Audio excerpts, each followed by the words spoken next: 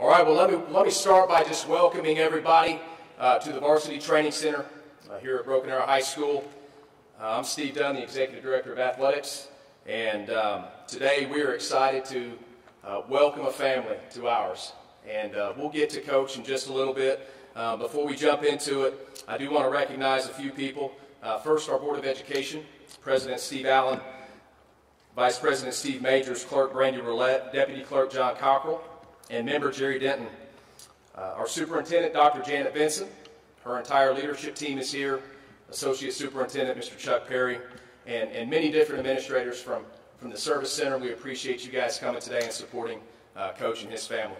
Um, our high school principal, Ms. Crystal Barber, her administrative team, uh, we appreciate you guys. In Broken Arrow, uh, there's a culture of student engagement, and there's a, a true belief in education-based athletics. And that's what today's all about. Uh, the last group, most important group that I want to recognize are these guys right here, uh, student athletes. Um, guys, we wake up every day and do what we do because of you. And today's all about you. I want you to know that, okay? So as a part of this process, we had a chance to visit with some references, probably my favorite part of the process.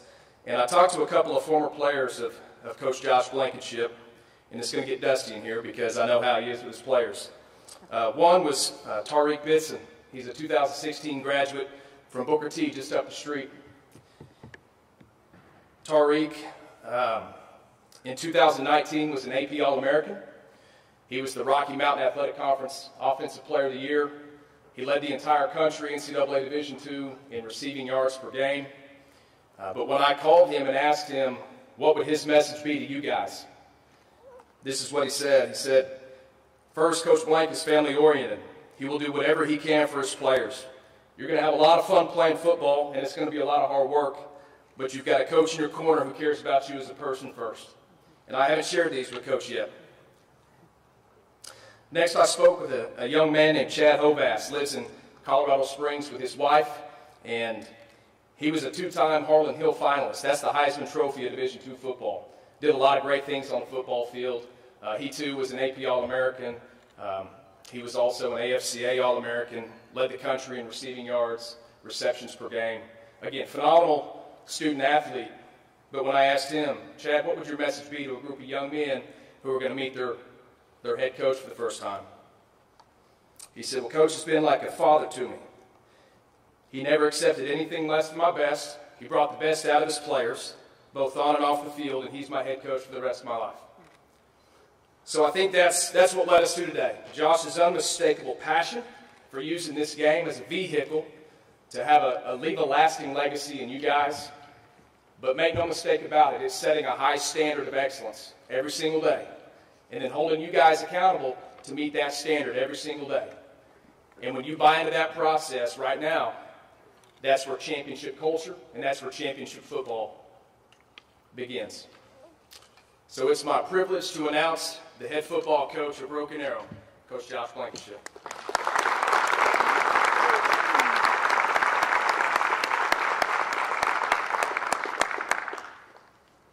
I think he did that on purpose, get me all emotional. Um, the hardest thing about leaving a place is uh, leaving those relationships. And the thing that makes up for that is the hope of new relationships.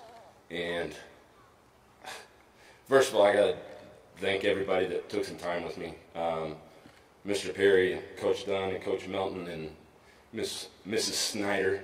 Um, knew her by a different name in high school. Um, and then Dr. Vinson and the board. Um, I'm blown away by this opportunity.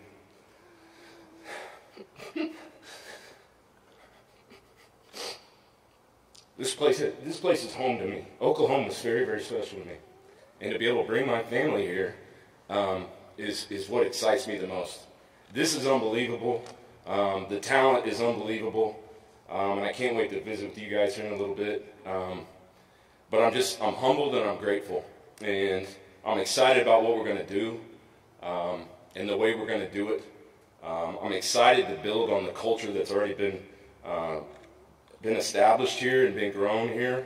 Um, the tradition here is, is unbelievable. I mean, as a little kid, um, I was a ball boy for my dad, and I'd go try to catch those PATs and field goals falling down uh, the tree down there at the end zone over at Kirkland. Um, but a, a legacy is something that we're going to be uh, focused on. Uh, and the way that we're going to do it is, is by creating a culture. And there's already an incredible culture here that I just want to add to. Um, the way we're going to do it is we're going to develop men. And it's going to be hard, and the standard's going to be very, very high. Um, but the reward is, is worth it. Um, we develop men, and then we create a culture of family. And that's there might be other ways to win, and you can go all across the country and, and hear different ways on how to win. That's how we're going to win. And we're excited about it. Um, I'm excited to be a part of this with you. Um, I can't say, say it as good as Coach O, but go Tigers.